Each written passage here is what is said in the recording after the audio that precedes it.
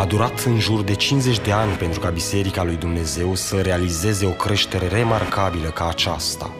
Biserica lui Dumnezeu a luat naștere în Corea de Sud, la marginile pământului în est, potrivit cu profeția din Biblie. Hristos San Sang Hong a început să propovăduiască Evanghelia în anul 1948.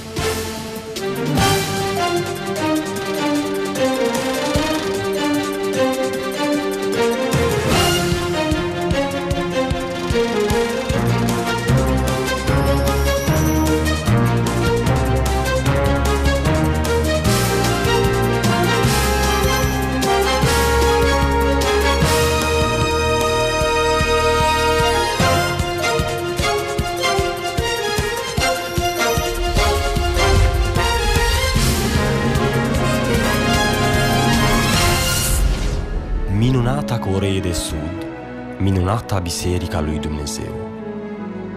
În strigătele și uralele lumii este cuprinsă dorința ei pentru Biserica lui Dumnezeu. Corea de Sud a devenit leagăn nou al Evangheliei și Biserica lui Dumnezeu a devenit un nou teren sfânt al Evangheliei. Acum, unde sunt conduși oamenii căutând Biserica lui Dumnezeu?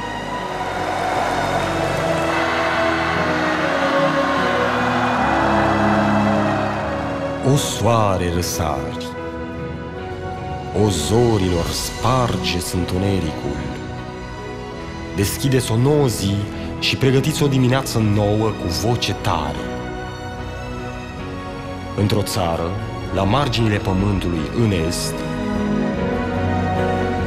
templul adevărului Bisericii lui Dumnezeu luminează întreaga lume